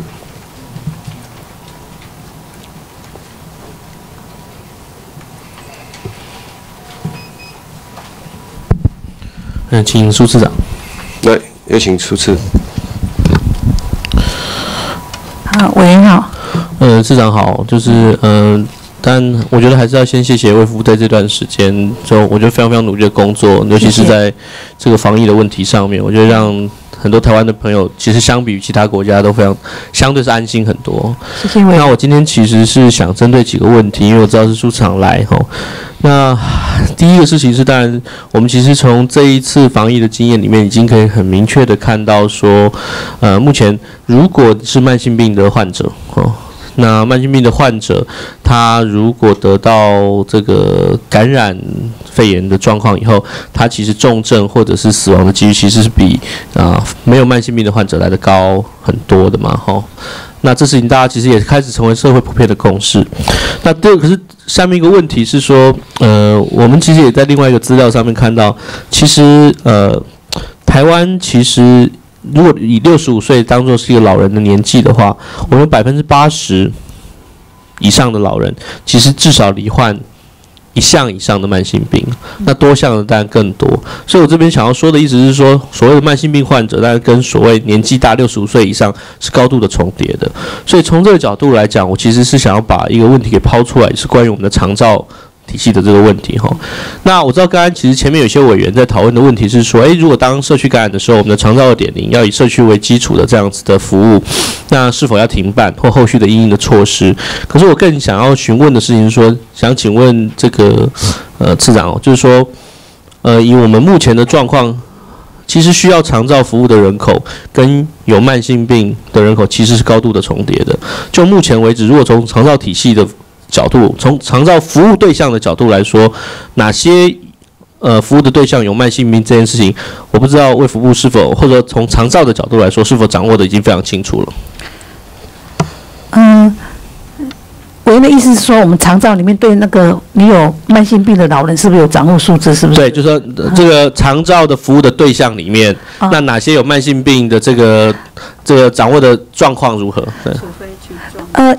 一般哈，就是说长照他是以私人需要照顾为优先嘛哈，照顾之后他先满足他的私人需要的一个照顾户，至于会不会去跟慢性病做勾稽这一块，确实我要再确认一下同仁有没有去做这个勾稽啦。是因为我，但是他用药的习惯他会纳入在照顾员的是会关怀的，他是会关怀他有没有在使用慢性病疾病的药药物是会关心。是，但我这边其实想要，我其实想要提一个事情或者是一个建议了哈，是，因为今天如果呃慢性病的这个患者，他其实是我们得到如果得到这个不管新冠肺炎或武汉肺肺炎得到以后，它最容易重症，甚至死亡率比较高的话，我们怎么对于这些慢性病的患者提供更强化的保护？哦，甚至在卫教方面，甚至在提醒他防护方面可以做得更多。那如果他同时也是长照的长照服务的这个需求者的时候，那从长照体系有没有可能在提供他类似像这样子的讯资讯，能够对他来讲一个更更强化的保护，让他更不会这个远离这个感染感染肺感染这个武汉病毒这样的这样的状况？我不知道目前现在卫福部有没有这样的规划。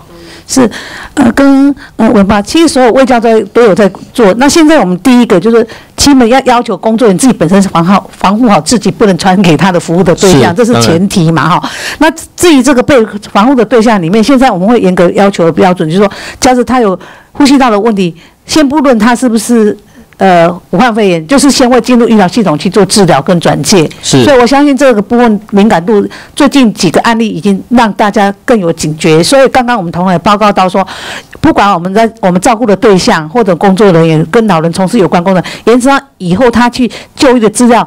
会随时提出警讯，他只要去看是跟呼吸道有关的，会跳出警讯出来给我们提醒，我们要去注意后面的防护。OK，因为有很多朋友其实，在谈，在在现在在讨论几个，我觉得是比较更进一步的概念啊。这几个概念是说，我们因为当然现在大家讨论到关于社区的传播或社区感染这个事情，那怎么让社区成为一个健康照护非常非常重要的一个节点？OK，那。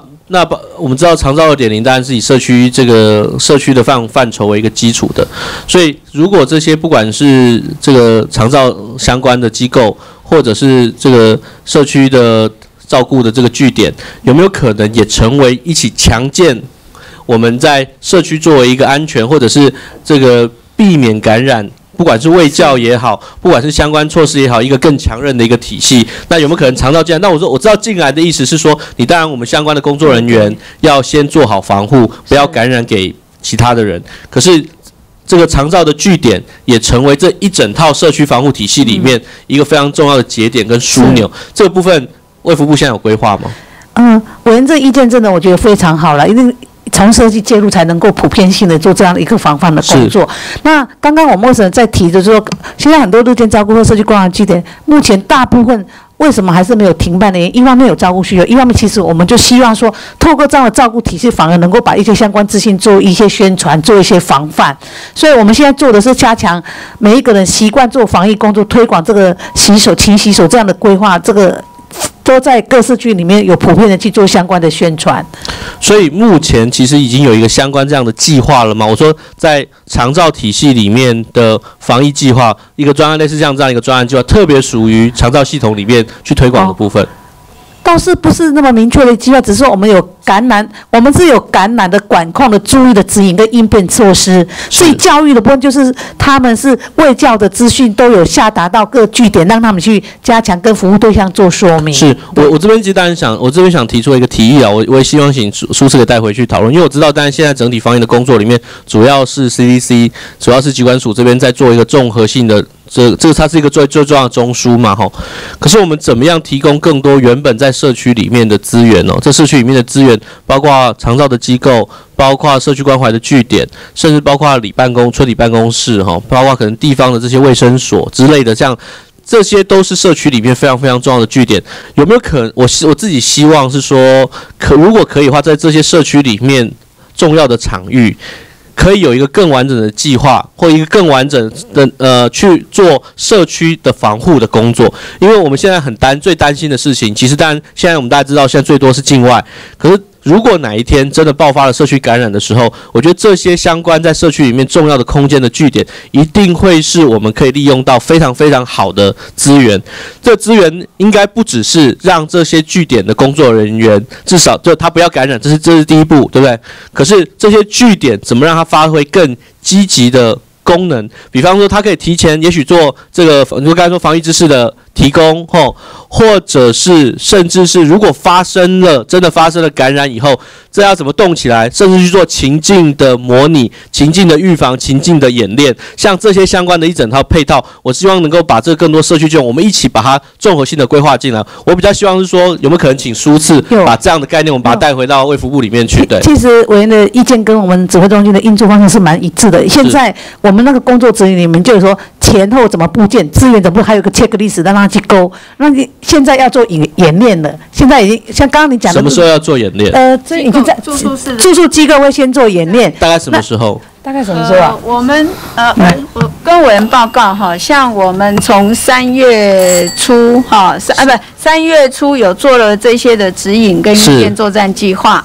那我们现在大概三月三十呃二十八号，我们儿少安置机构会先做一个演练，然后三月三十身障哈老人哈长照机构等等都陆陆续续在。那我们现在是先择了桃园跟彰化。他们呃，这两个地方政府哈来做一个演练跟线上可能拍摄哈，那国建署也拍了很多的影片，是啊，就是相关这个卫教的影片呐，或者是相关演练应该要注意的事项。是因为我必须说，我这边其实听到得到的资讯是有很多在社区里面，我们这些觉得重要的节点，其实目前其实所收到。的这个整体的资讯并不是那么充分。当然，大家比较多还是从电视上面看到这些广告，可是并没有非常非常充分的，呃，可能是完整的收集到它解。假如发生 A 情境，它应该怎么样？B 情境该怎样？C 情境该怎样？这些相关不管机构或者社区里面节点，我自己是希望说，接下来看能不能加速，或我们把它规划的更完整。我知道这工作可能会涉及到一些跨局处等等等一些相关的整合，甚至会跟也许会村里办公室，哦，甚至跟卫生所这部分的一些整合。我们希望可以规划。我我自己是觉得说，让这个社区的节点更强韧，我觉得它一定会对我们接下来可能社区感染、社区传播，不管是预防或者是发生以后的阴影，我觉得这是大概是最重要的最后一层堡垒的保护，会在这个地方。谢谢委员，我们会加强现有的机制的检视，在不足再去加强。那我相信演练之外会扩大它的传播效应，希望大家能够掌握所有相关的配应该有的应措施。好，麻烦，好，谢谢。好，谢谢。我们下一位，请谢依凤委员。谢依凤委员，谢依凤委员不在，我们请李桂明委员。李桂明委员，李桂明委员不在，我们请郑天才委员。郑天才，郑天才委员不在，我们请洪孟凯委员。洪孟凯，洪孟凯委员不在，我们请邱志伟委员。邱志伟，邱志伟委员不在，我们请钟嘉宾委员。钟嘉宾，钟嘉宾，钟嘉宾委员不在，我们请吴炳瑞委员。吴炳瑞，吴炳瑞委员不不在，我们请刘建国委员。我知道你在，他去洗手间而已。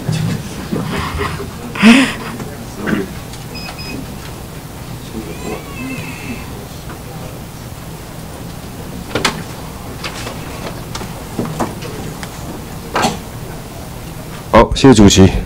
诶，请处长好不？来，苏市长。诶，个那个署长。司长。司长，嘿。啊，委员好。诶，处长，处长，今日辛苦。被委员会即摆佫存在委员会还佫咧开吼，啊，因为代志代志严重啦，是是，代志严重，是毋是？处长你先简单甲大家说明者，是安安怎的原因会去得得精神的疾病？咱重点啦吼，啊，简单就好啊，嘿。歹势，我台台无遐无啥练凳啦吼。哦，无要紧啊，你讲国语嘛无要紧，好无？其其实精神疾病的发生，它有几大因素。啊，那几个因素凑在一起就容易导致精神疾病。那第一个主要是有一些是天生的遗传因素。哦，遗传。那对遗传因素，有的人身心比较心理比较大条，有的比较小条。对。那这个这个就不一样。第二个其实跟环境的压力有很大的关系。环境压力。对对。第三个其实是跟他成长的过程，长这从小长到大这个过程哦，其实如果教养的方法啦等等也会有影响。形象的环境。对对对，这三个原因是主要。所以阿边两个是环境啊。头前一个是先天的啦，应该安尼讲嘛吼。所以你你简单来看讲，即摆诶武汉疫情遮严重，有倒地可能各行各业会因为遮大诶冲击，有人生意失败，有人倒店关门破产歹负债，这个环境会造成较侪诶人去得到精精神的疾病无？有可能无？诶。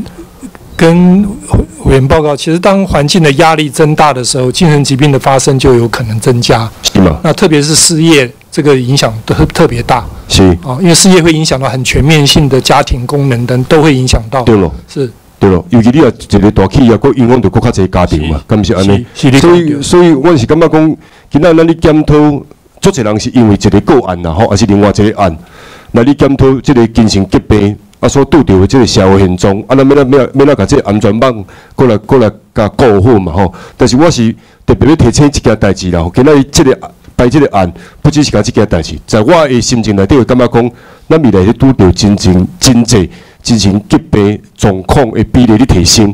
安尼来讲，咱的政府卫生部甲即个心考师到底要来去做即个即个超前的的布置啦。超前超前的预防啦，吼！我特别伫遮提出即件代志啦，吼！我想是安尼啦，吼！因为我今日看你业务报告内底，我感觉有淡薄仔恐慌，因为拢无去讲着后壁代志，甲讲着即摆代志嘛。所以，恁家己佫讲一件，什台湾社会经历快速变迁啦，吼！社会形态甲个人生活产生急速的变化，都伫啦。即恁讲的啦。哦，啊，但恁讲的啊，即就是你著爱准备武汉疫情所带来冲击，就是就是应用伫即个所在后。应该是安尼讲哦，吼，好啊，但是，但是你来看咱咱咧人类的社群内底吼，要要讲去免疫于即个精神的疾病，任何族群、任何品行，什物款的人拢无可能啊！一定会会伫一个社区内底，伫一个族群内底，加减拢去拄着啦。啊，拄着以后，除了人甲人之间会互相啦，吼。啊，剩咧就是一定要靠政府嘛。政府你也无作为头前，无事先的预防，无事先的介入，无事先啊无相关的支持。我想，我想，这这社会即款代志的赞助，永远未停止啦吼。但是我是要讲，咱都已经知影这代志，啊，每一摆拢是你检讨这代志。但是，但是今仔日我看恁的报告内底，我是会感觉讲，呃，真真感觉无超前布置啦。是安讲，你来看，正在积极修精神卫生法。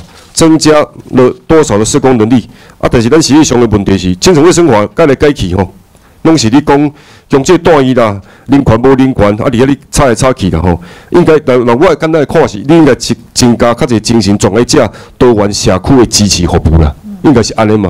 好，啊，你来看甲支持这两字哦，拢无写入去，拢一直无写入去，吼，一直甲。伊啊，过来，另外一个是讲，偌济偌济社区诶，社工诶联络，关关怀访视诶联络，就是你增加，就是逐摆去访视，也是介入社区诶，即个联络，拢是大枪匹匹马啦，都一个去尔啦。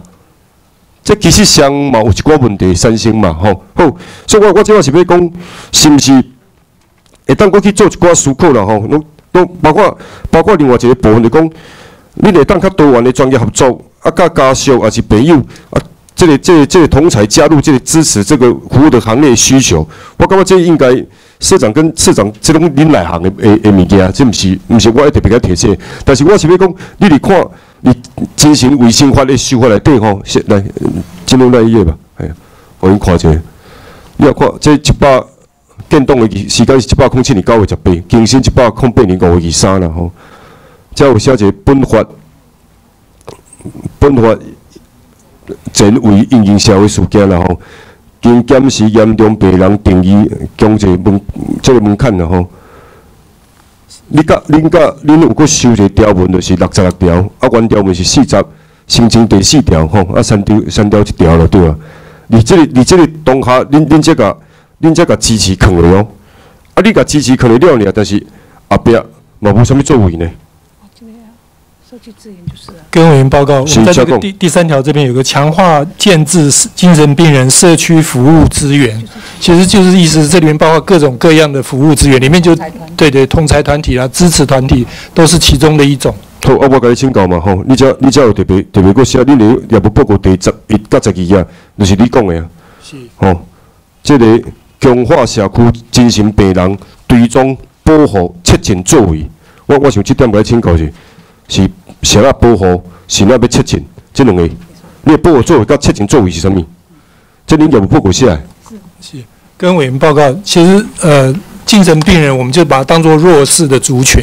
所谓所谓保护，就是说，因为他精神病人不会主动去取得资源。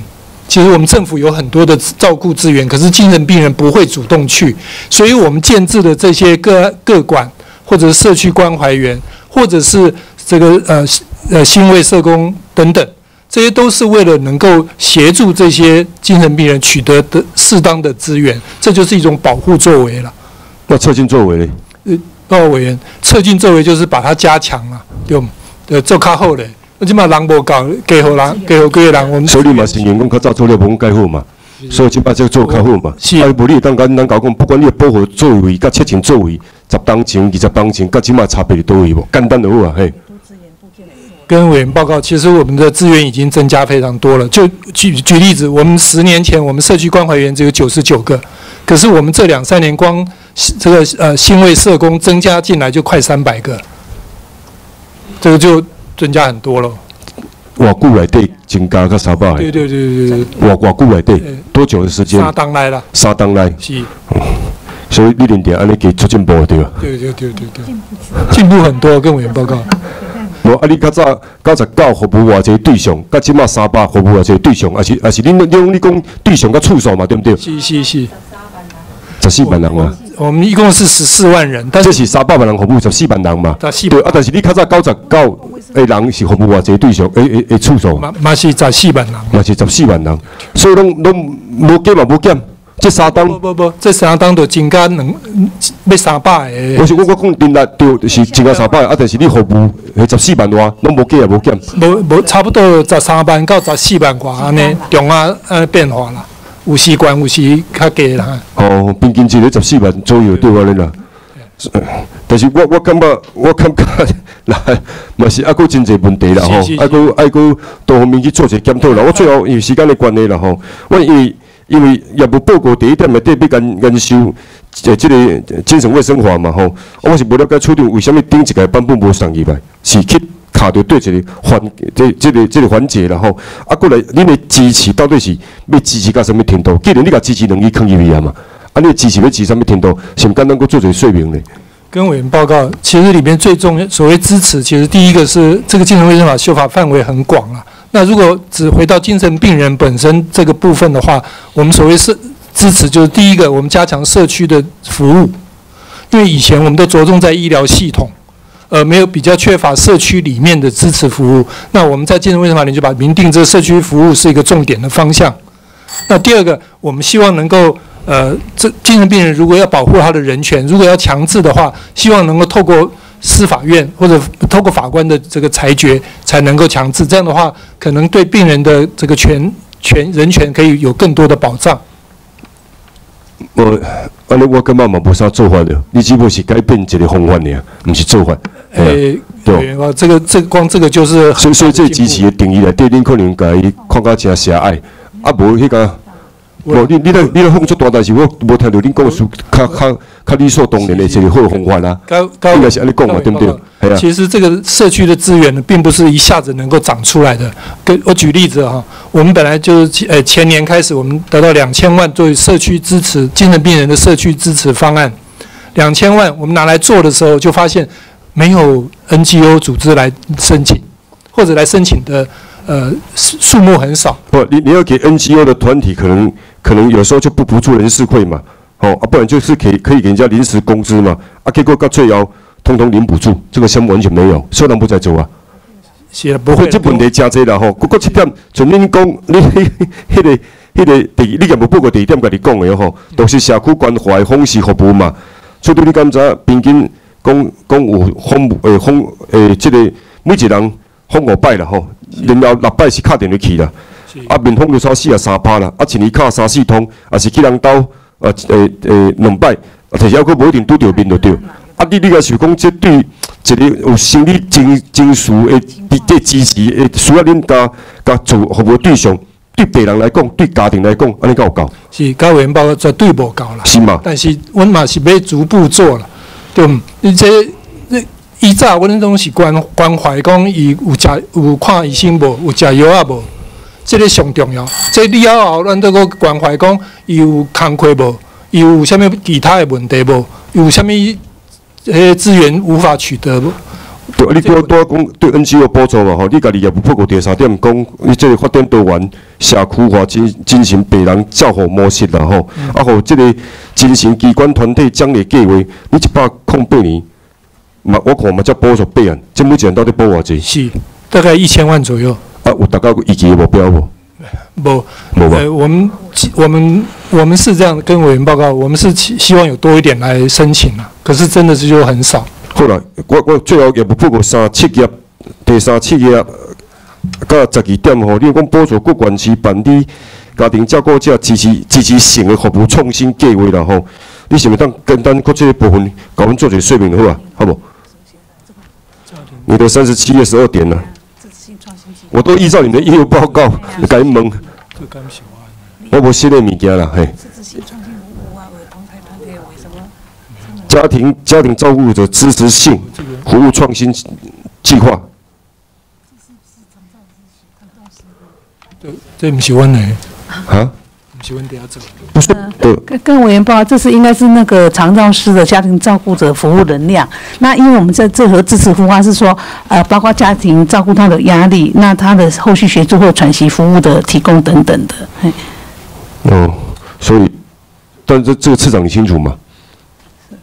市长你清楚吗？这个事情你清楚吗？对，这个是主要是讲那个家庭照顾的服务能量，因为有些喘息或者有一些特殊的一个他的压力的释放的一个方案。对啊，这有精神疾病的也可以纳入在这个范畴里面吗？还是没有？这个目前应该不是精神疾病，是主要是照顾者的压力。那我们希望能够他能够平稳的提供他的照顾的能量，所以会做一些支持的支持。对，我知道啊是精神病患的家属，他本身也是照顾者啊，怎么不是？哦，没有，这是是呃，就是长照对象的家庭照顾者。对啊。啊，对，当然有可能其中是有些精神障呃精神疾病的私人者。对吧？啊，我就是要特别请教你们，因为你们又报告是写这样嘛，那有多少精神疾病的？照顾者纳入已经有提出这样的申请了，是我们在这个支持的系统里面有照顾到他们这些精神疾病的家庭照顾者吗？没吗？跟委员报告，因为这个不是我们司的计划，但是我在地方的时候，我在卫生局有去协助执行这个业务。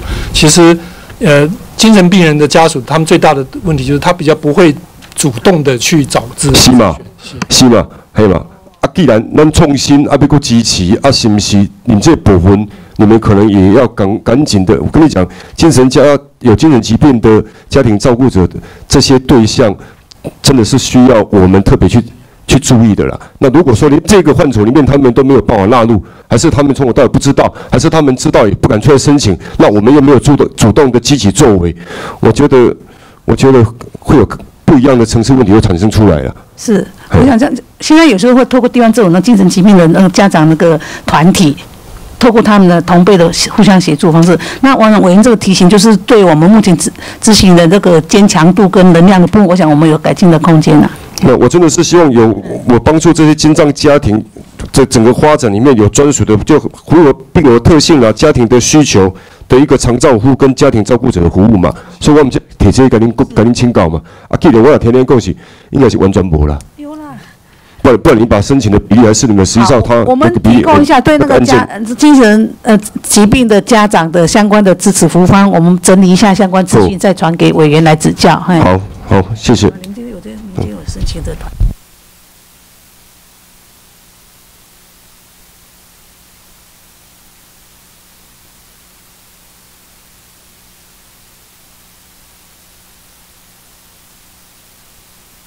好，接下来请林淑委员。来做宣导。好，谢谢。而且主席是不是请次长？来，请苏次。委员好。市长，关于精神疾病哦，最近有很多人投诉。那其实也有一个台北市的这个新生活协会，也有呃也有讲出他们的意见。那其实有几个呢？呃，刘建国委员刚才咨询，大家都都都大概都搞得清楚，就是说，其实精神疾病不能成为杀人的理由。那大家都问说，那他为什么会杀人？哈，他为什么杀人？但是讲回来呢，精神疾病是全世界哈在疾病负担之首，大家都这么说。可是台湾呢，台湾的心理健康促进经费和预算，一个人一个人分配二十三元，所以你说这个国家到底有多重视这个心理健康促进？我们心里面有数。然后再回过头来，你刚刚讲说三百个人服务十四万人，一个社工。要服务四百个精神病病友，这刚好可怜，这刚好可能，处长这刚好可能，一个人平均二十三块，这敢有够？我我认同刚刚委员说的，这个金额确实很少，所以他们在固定预算之外再争取这个公财基金加进来做社区服务光，那我相信还是不够啦。包括不管经费，啊，你们都知道不够，可是你也知道这个社会问题很严重啊。对，但是那你们接下来积极这样更积极的作为是什么？我们在讲社区支持，我们在讲多元形式的这个服务，在讲多元专业的合作，在讲到社会和生活支持，在讲说最重要，林金茂高林小核心的叮咛，人家有没有吃药？可是呢？不是吃药就万事 OK，不吃药当然不 OK，但是不是吃了药就 OK 嘛？所以这个问题是，你那足侪业务的，啊，咱去看有食药啊无？啊，大家房事看你有固定咧去看医生无？啊，有看有搁是安怎？有食药啊有搁是安怎？其他拢支持拢无，其他的社区支持拢无，多元专业进来嘛无？安尼写当这虾物虾物健康促进？这是缘木求鱼，市长缘木求鱼。我基本上无要讲这啦，我今日要讲的问题哦，赶快这监察院哦最新的最近的那个王幼玲委员的报告了哈。监察院纠正卫福部对于身心障碍者是福利服务的需求评估作业流于形式，造成无法掌充分掌握及发掘身心障碍者及其家庭的实际处境和需求。我们在讲说，其实真正的障碍啊，是并不是来自于疾病和这个损伤，真正的来障碍是来自于外在环境的阻碍，而让一个人好没有办法平等的参与这个社会的结果。所以今天在讲这个身心障碍权益法里面啊，身权法里面大幅的修正，我们把过去只有身体功能和这个结构的鉴定结果大幅的修正成，我们要长期纳入所谓的活动参与和环境因素。这个精神疾病感官艺术，不是讲啊你有病啊你身体有功能有障碍啊你俩，你要想说这个社会对他们而言，至于他们有什么障碍？那这个障碍是我们政府做的不够多的，这个障碍是我们必须要帮他们扫除掉的，让他们拥有社会平等权的。所以，若无安尼看，怎么讲讲啊？咱个人的问题啦，你家己无食药啊，说起笑起来，个人的问题啊，撇开了所有政府的责任，事实不是安尼嘛？不是讲啊，咱个人的作为、个人的选择、个人家己想要好，你就要家己较积极、较拍拼嘞，不是。这有国家甲社会的责任。国家是我们不问责于社会，不问责于国家，都只问责于个人，然后每个人都个人化、原子化，就是这样子而已啊。啊，那安尼什么代志拢毋免政府啊？阮今日讲的是上流行一句话，叫做有政府咱放心。啊，什么叫做有政府？讲话这篇就是咧讲政府到底有要作为无，还是做表面的、做形式的？那二零零七年生权法修正以前，我们在讲的健康这个呃所谓生障者的唯一鉴定是谈你身体的功能嘛。那我现在觉得说，呃修法以后，我们要求要比较这个 ICF 国际健康功能和身心障碍分类里面八大身心功能障碍类别要有一个 B BS 码，还要纳入活动参与和环境因因素的第一码的这个考量。来判定对身障者的资格认定和那障碍等级的这个片这个判别，好，大家都一直在讲这件事情。然后呢，其实我国啊，虽然现在的法律规定我们是必须要去判断它的功能，还有这个判断它的环境和活动障碍这样子，可是呢，我们南喜博这告下了，基本上我们鉴定制度执行的结果跟。当初修法的目的还有极大的落差，所以要将这个活动参与和环境因素纳入障碍等级的判定里面，要去落实这个。然后就发现说，比如说啦，鉴定的基准无法回视，我以皮视皮质损伤患者的障碍来举例，他们也举例这个，好。他们说，卫福部跟地方政府监察院说的不是他们的哈。监察院说，卫福部及地方政府对医院办理的鉴定的品质欠缺督导机制，是皮质损伤哈。他绝对不是由一个眼科医师一个仪器检查，他要多科别医师，哈，他要脑部影像检查，还要搭配先进的医疗技术和仪器，然后他要看到视神经眼科以外，还有这个显影啊科，还有脑科等等，多多部门呐。但是呢，举这个例子来讲。你连这个脑部断层或核磁共振的检查，在视觉功能鉴定障碍的这个部分就没有纳入了，所以根本没有办法回应这一类患者的障碍状况。急救哎，急救还没讨论到环境跟活动障碍，刚才讨论到光是跨科别，在这种状况里面都没有办法执行。好，那《生权法》第六条第一项规定哦，还要组成一个专业团队去进行和报告这样子。然后呢，呃，他纠正了你们说啊，地方呃不县市鉴定及异议复检的通过比率啊高低起伏，鉴定的结果有差异，训练的课程参差不齐，鉴定的人员专业训练不足。监察院说，有的等这个今后有这个哩哩啦啦，啊，你拢无一个统一的标准，卫福部也没有个行政指导，也没有做出一个好的这个呃这个指引。要求大家通通要做到，地方也相当的品质。阿这伊甲你纠正，阿这你也专业，确定是马立的。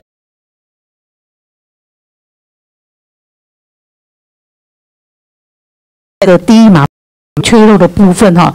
那还有这刚刚整个鉴定的品质部分，现在造物师都有逐案在一个一个做检讨。那人给你纠正啊，边购买检讨。是，所以在做相关的一个检讨了。我想品质要达到一致，才能造成民众的公平性。这个部分确实我们有改进空间。那已经用纠正啊，已经检讨了。是有在检讨。但是不是跟他公真呢？你讲啊，区公所办理需这个需求评估先期作业流流于形式啊。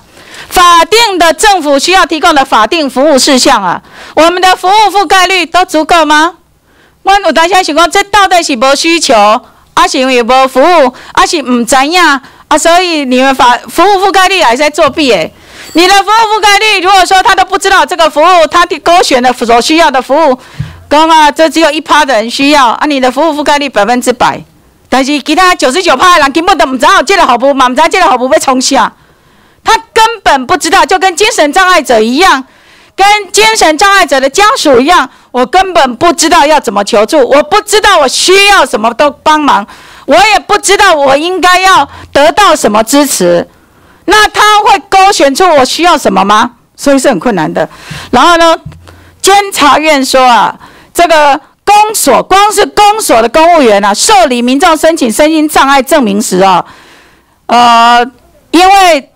人力不足，流动频繁，这个在中南部很普遍哦，在北部或许还没那么严重。在中南部，公务人员乡公所，尤其是这个呃人人口数少的乡公所，问题更严重。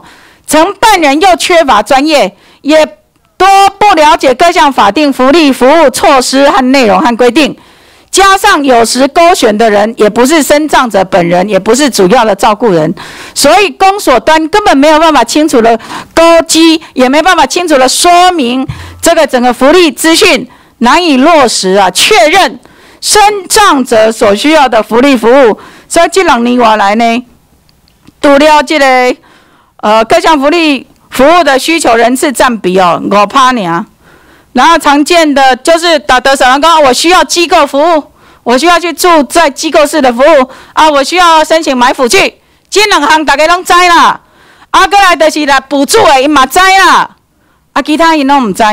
我们在讲说，哎，这个有家庭托顾、照顾者支持，然后行为辅导、自立生活支持服务、课后照顾。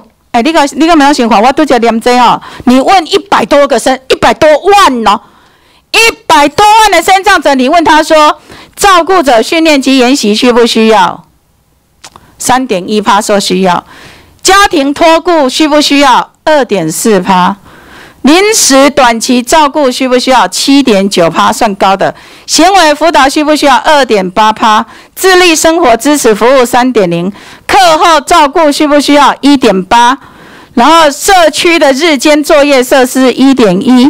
婚姻和生育辅导哦，零点五。然后呢，社区居住一点五，心理重建三点五，生活重建三点零。这是唔知家己的需求。还是对监护无信心？你所提供的服务有多满足他们吗？或是他们他们早就没信心，说其实这拢不做未到的，所以规矩卖卖勾选，勾选料嘛得不到服务，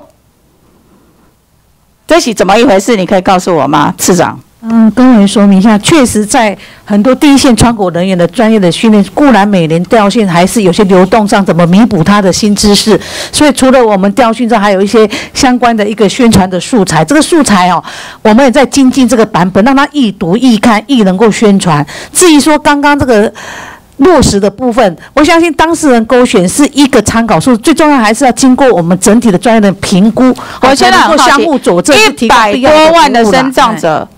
他们的需求怎么这么少？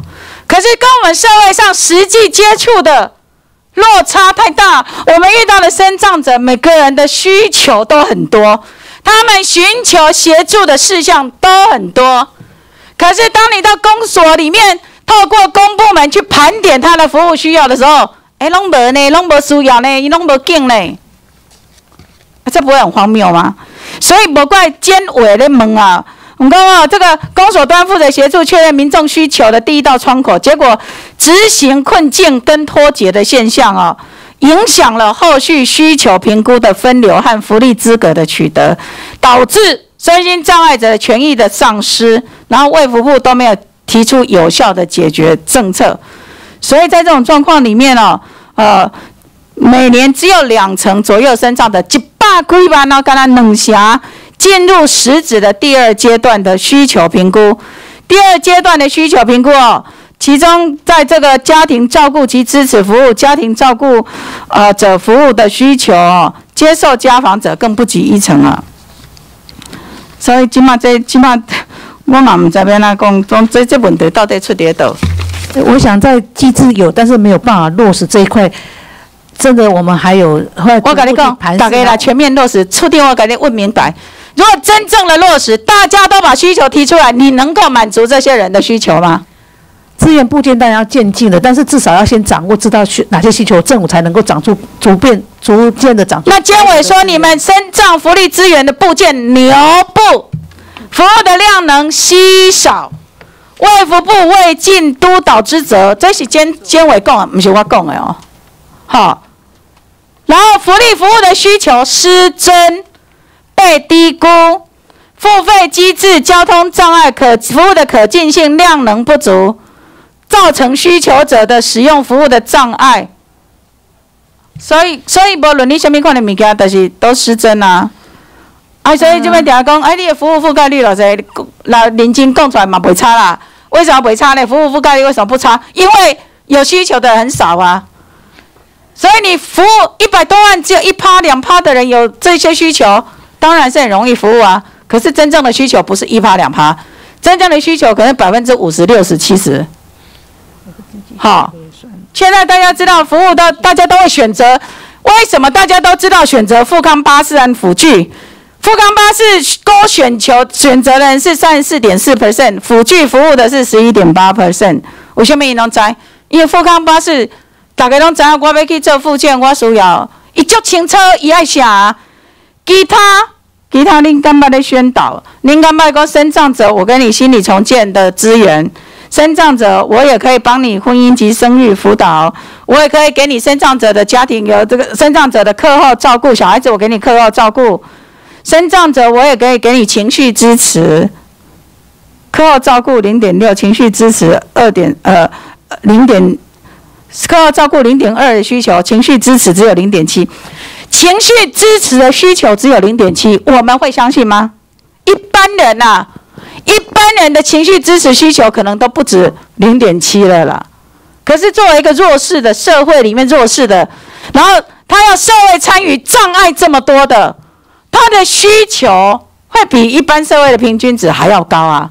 可是你的服务提供法定服务项目嘞，你的提供，恁都无咧讲啊，因为恁无咧讲，你若真正讲出去，大家拢要来要求服务，你嘛做袂到。所以我们今天在这里说，既然监委都已经给你一个纠正报告了。刚刚在讲说，这个连身障者也一样，家庭照顾者的服务，他的需求的部件其实也不少，大概也都高到十一点多 percent，好，一层有。可在这种状况里面，我问你。即便有勾选的了，这么多年六年来有勾选到照顾者的支持哈，照顾者的训练研习，家庭关怀访视和服务有是一成多，啊有没有提供到满足？一成多有没有全满足？不是，那我们那个组长来做说明。有些有需求之后，我们还要进入第二步的社工也会再再做亲自做电话的一个访问服务。对嘛？对。啊，所以不每一个都每个他满足。呃，跟委员报告一下，我们目前在区公所，当然一线的部分我们未来会加强。可是我们不是只有靠区公所的这些人员的勾选，我们的社工会一个一个打电话跟我们的身障。你全部。这个生障者专为生呃生障者这个多元评估啊，这个评估的社工员有多少？现在有两百五十六个。两百五十六个要服务多少人？呃，一年大概平均三十七万左右。平均三十七万，总量是总生障人数是多少？呃，一百一十八万。一百一十八万，一年平均三十七万，几量爱好不贵诶。大概他们的思路来讲，因为是电话服务嘛，所以可以的量是比较多的。嘿，我我。我跟你讲，再怎么电话服务嘛，是一点的瞎手娘啦，是狼心八者。我今晚没讲讲，不论是精神障碍还是全部的身心障碍，我们要说的是社会的资源、社会的支持、国家的责任，永远都做得太少，而且法定业务、法定该做的服务项目，其实的就少哎，服务的覆盖率少之又少。这个我们会来加强。那我问你一个原因啊？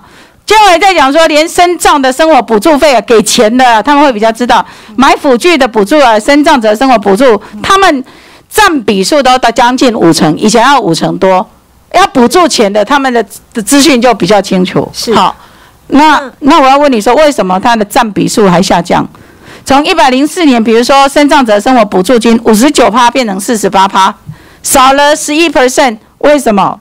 呃，因为这个是表达性的需求，所以每一年会勾选的人会有一点点差异。对，可是我遇到我们我们服务的第一现场，哎，你知道立委有服务处，服务的现场经常就有很多身障人士，他申请他的生活补助，可是他们经常就是遇到很多门槛跨不过去。是，那我想这个门槛的部分，我们一直都有在。我是不了，我是不了解，因为身障的总量的人数只会越来越多。是，可是你怎么每年所提供的服务，给他生生活补助费的比占比数是下降的？我那个是表达性的需求，那最后我们实际发放的话是都在增加的哦。哦，有增加啊？对，大概大概是很平均呐，就是说它的呃人数是还蛮稳定的哦。大概在一百零七年是大概平均每个月三十五万嘛，那一百零八年的时候也是平均每个月三十五万，那每年花在这个钱大概两百一十二亿。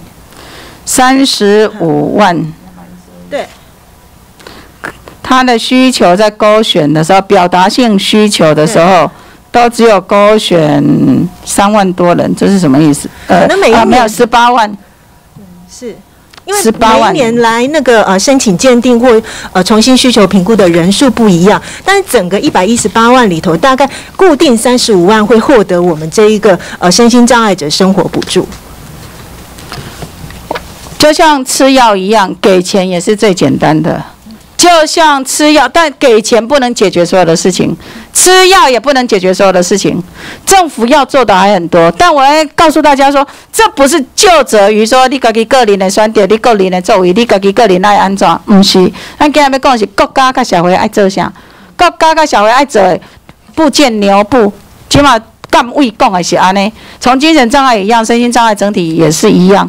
从服务的覆盖率来讲，法定的服务项目难得覆盖率就给就给，我我预算嘛就给。我我补充一句就好，就是我们这个整体覆盖率，我们也承认说我们的确是不够，所以我们每年都有一个目标值在成长当中，所以我们从你知道覆盖率也可以作弊九点四到现在一百零九年，我们要达到十五 percent，那现在大概是十三 percent 左右，我们还会继续。那你的覆盖率它的分母是什么？是表达需求的，还是全体的母数？一百一十八万。呃，因为一百一十八万不是每个人都有这个需求。嘛，所以表达，我就跟你讲，你这个成长成长率是可以作弊的，你只要把表达需求的人那个分母调整一下，或是分子调整一下，那如果你是用一百一十八万去做的话，那就不容易了。你知道吗？这个就是到底要怎么做？数字是容易做的啦，我只能这么说。金价后啊，可以走，一根叫尖尾，会努力的，但是纠正啊。委员报告是每个人需求不同啦，有我知道了，但是最好是人家没有需求。但我要提醒你，最好是人家没有需求啦。但是我们知道，我你得小维来叫叫，你不是民意的第一线呐。人家我们看到的都是需求都没有被满足，而不是没有需求，这才是真正的事实。好，谢谢。好，谢谢另位，谢谢市长，各位市长。那本日会议询答全部结束，委员鲁明哲所提书面咨询列入记录刊登公报。现在做以下决定：第一，报告及询答完毕；第二，委员咨询未及答复或请补充资料者，请相关机关于两周内答复。委员另有要求期限者，从其所定。本次会议到此结束。现在散会，谢谢。哦，关掉。